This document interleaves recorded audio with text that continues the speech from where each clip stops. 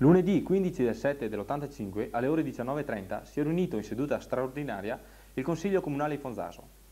Il primo punto riguardava la lettura ed approvazione dei verbali della seduta precedente. Il punto è stato approvato. Il secondo punto riguardava l'assunzione di un mutuo di lire 375 milioni con gli istituti di previdenza per la costruzione di un nuovo acquedotto in località Fontanaz. Anche qui il Consiglio approva il punto.